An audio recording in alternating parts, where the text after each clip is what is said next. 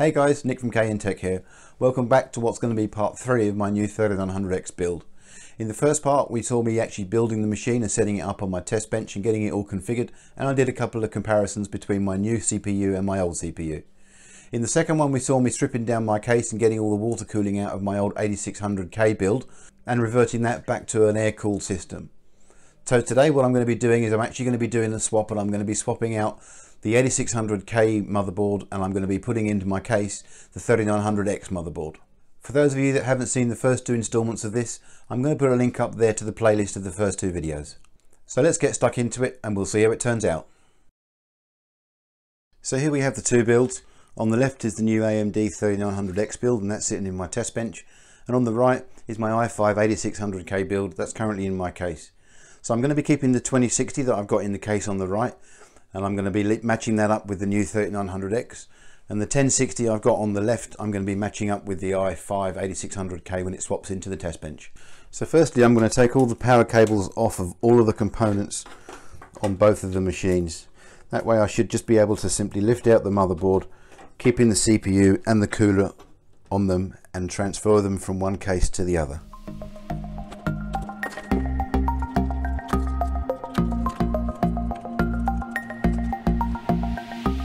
Now I'm going to remove the video cards because like I said I'm going to be swapping these two over.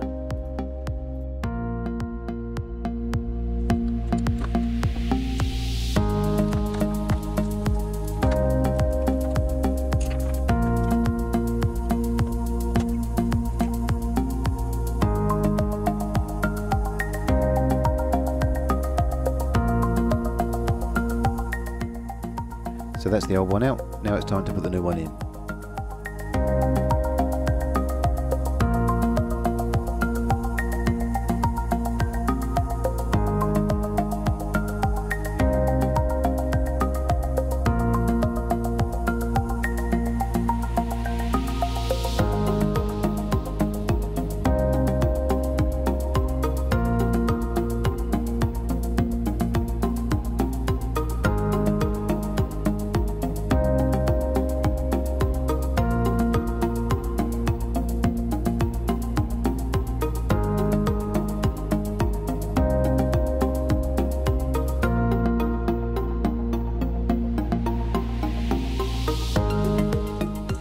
There we have it guys, everything's all connected up, the front panel USB, the audio, everything else is like that. I've managed to, I've put the GPU in as well, so now all we have to do is just to hook it up and we'll see if it works. Alrighty, here goes. Of course it does help if you actually turn the power on. Let's try that again. Okay, maybe third time lucky.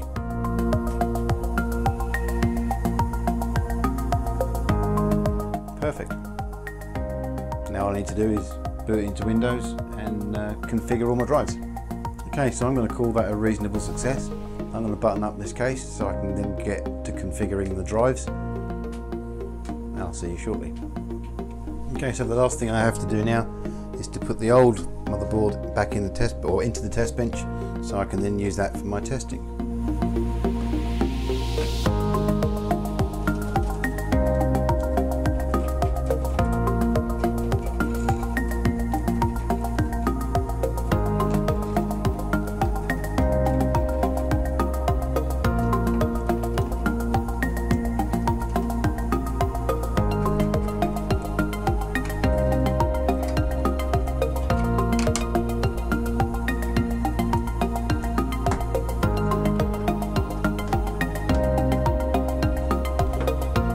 Finally the GPU.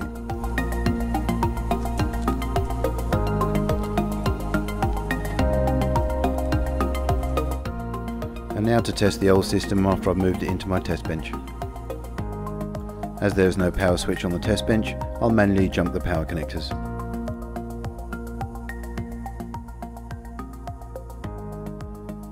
At least it boots.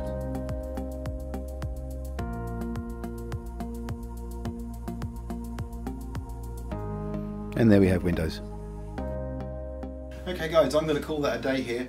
So we've managed to do the swapping out of the two main boards. So that's taking the 8600K out of my machine and putting in the 3900X which was on the test bench originally. So I'm going to go ahead and configure my 3900X in the machine in the case now. I've got a few things I need to do. I need to make sure that the program paths are correct and they're all pointing to the correct disks. Don't forget to check back in a couple of weeks guys for part 4. It's going to be the fourth and I promise it's the final part to this. I'm sorry guys I didn't realise it was going to run into four parts. I thought it was going to be able to be done in maybe just a couple. Uh, the fourth part's going to be the water cooling. So I'm going to be using the Corsair water cooling products to go in this. Because that's going to match up with my Corsair fans that I'm going to put back in.